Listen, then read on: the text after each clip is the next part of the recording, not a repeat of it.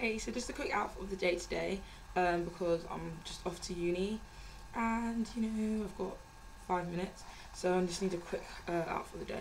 Need. I'm just gonna quickly do one. So um, first of all, start off with my hat. This is from H&M, my burgundy hat with a little feather on the side.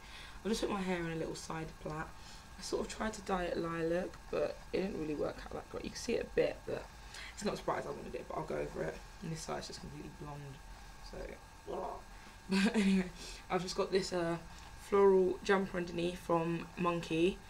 Um, it's not jumper, I mean a floral shirt. Looks like that.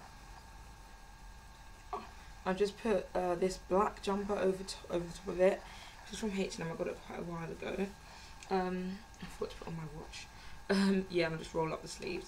I'm just about to put this watch on, which I got recently, and it's from. Can you see? No, I'm right in front of the light, so yeah. But um, yeah, it's from Urban Outfitters, and it was five pounds in the sale. So I'm gonna put that one on. Okay, moving on down.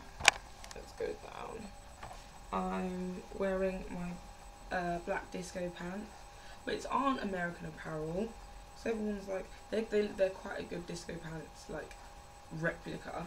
But yeah, my black disco pants, just put them up which I got from Dorothy Perkins for they were originally twenty nine ninety nine, but they were doing twenty five percent student discounts. So altogether, I got it for like twenty two pounds or something.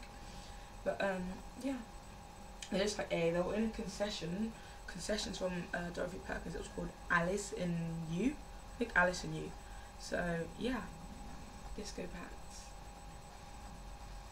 That's what they look like from behind. Buddha. But um and then on my feet I have further. Just my uh, burgundy converse. So yeah. I'll show you the whole outfit. Boom. excuse my room in the background because it's like messy. But yeah. Laundry. But um